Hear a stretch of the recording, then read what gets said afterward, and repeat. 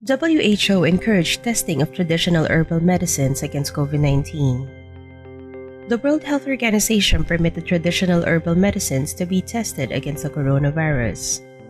The permission has been granted to African herbal medicines as potential treatments.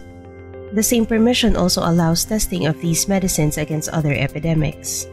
The action is a huge opportunity for traditional medicines. It will open avenues for several herbal medicines to be trialed against infectious diseases.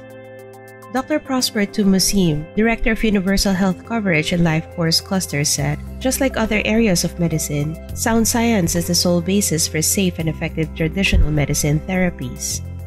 The permission targets to strengthen the healthcare systems in the African region and to accelerate development programs. Since many traditional herbal medicines have been recognized and clinically tested before, these programs include other untested types of herbal medicines. The programs will use laboratory based processes to determine which of these medicines can prevent or treat COVID 19. The endorsement included technical documents designed to empower scientists in Africa.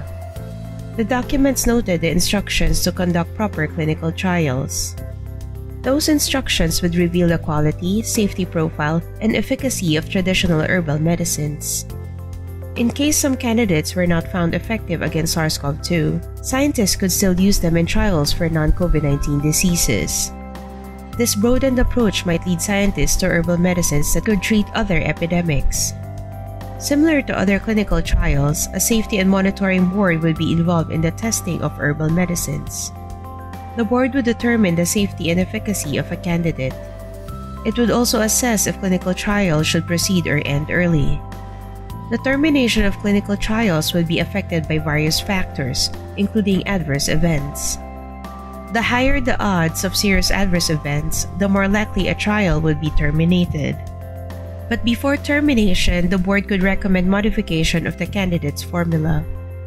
This might increase efficacy and decrease side effects.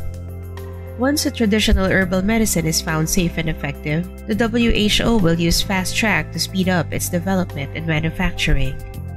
As long as that candidate is effective against infectious diseases, the organization can use Fast Track. Early positive results from clinical trials can push the approval of potential therapeutic or preventive candidates in fewer than 60 days. Earlier this month, a network of laboratories for COVID 19 genome sequencing was launched in Africa.